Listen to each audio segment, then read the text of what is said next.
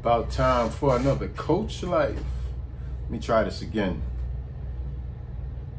We are out of eclipse season, or we're in the thick of it, however you want to look at it. we uh, great change is upon us. Uh, personally, for me, I have a lot of change going on. Uh, I don't want to pretend like this is an easy moment. Um, I can just tell that, that, I don't really have choices within it. It's just uh, at a certain point, you have to decide what is healthy for you and what isn't. And so I've come to my own conclusions. Um, but in this moment, although there's so much change and so much whatever, whatever, I'm sending a ton of light and love and, and clarity, clarity. Hopefully, one of the greatest takeaways from adversity.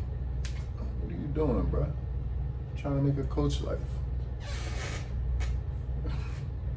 one of the greatest takeaways from the adversity 2023 2022 is clarity it's just it shows me oh okay that's not the way i wanted to go that way shouldn't go that way i wanted to go this way shouldn't go this way so anytime i prefer clarity and the discomfort that comes with finding out the truth rather than like coasting and not ever knowing whether I'm right or wrong.